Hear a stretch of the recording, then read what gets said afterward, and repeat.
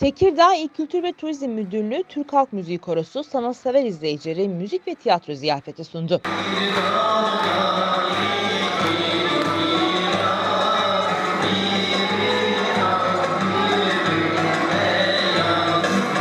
Tekirdağ Yahya Kemal Beyatlı Kültür Merkezi'nde Safet Acat'ın şefliğini yaptığı Türk Halk Müziği Korosu seslendirdiği solo ve koro eserlerle izleyenlerin büyük beğenisini kazanarak bol bol alkış aldı.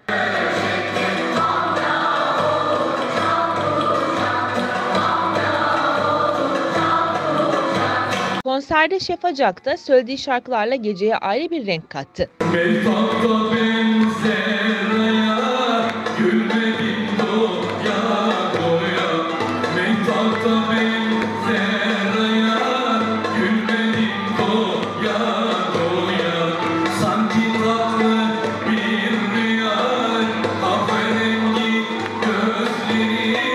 Koro ve solo olarak birçok eserin seslendirildiği programda koroda yer alan sanatçılar kız isteme oyununu da büyük bir başarıyla sergileyerek tiyatro alanında da nedenli başarılı olduklarını gösterdiler.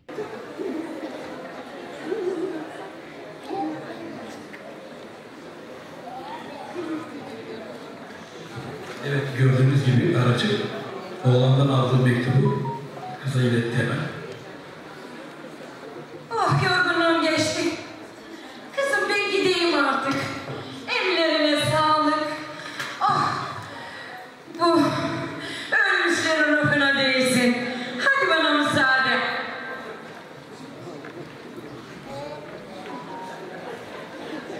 Saffet Hocam bu akşamki program hakkında bilgi alabilir miyiz?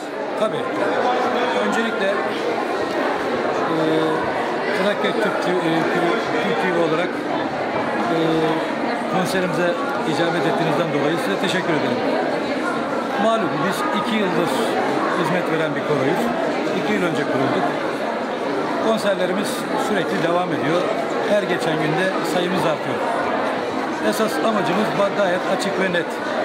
Tekirdağ'ın yerel, gelenek, görenek, adetlerini ve yerel türkülerimizi araştırıp bulup reperatuarımıza kazandırmak. Derdimiz bu. İnsanlara mutluluk vermek, insanların mutluluğuna ortak olmak, insanları birleştirmek. Amacımız bu. Bunları diyebilirim. Hocam e, koro kimlerden oluşuyor? Her şeyden önce şöyle söyleyelim.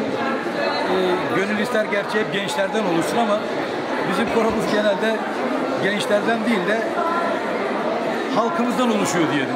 İçimizde öğretmen de var, ev hanımı da var, mühendis de var, doktor da var. Her meslek Her grubundan var. meslek grubundan insanımız var ama genelde ortalama 40 yaşın üzeri.